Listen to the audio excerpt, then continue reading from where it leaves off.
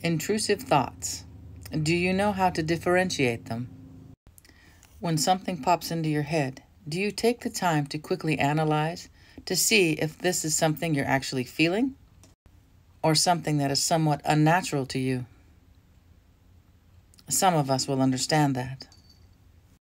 You will notice if it's not part of your thought process, if it goes against your morals and your norms. Some will say that's just your subconscious bleeding through. That's a good possibility. But what if it's not? What if those thoughts were placed into your head? Some people will say that's impossible. Really?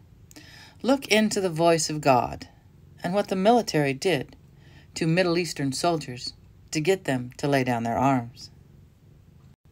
It is fully possible. What can be sketchy is where the thoughts are coming from. Are they coming from this 3D realm? Or from another vibrational frequency or dimension? No matter where they come from, they need to be recognized that they are not our own thoughts. They are not how we truly feel. When we realize they are unnatural, the power they have over us diminishes.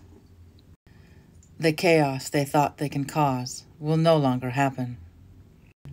At that point, you are stronger than they are, and they will fear you.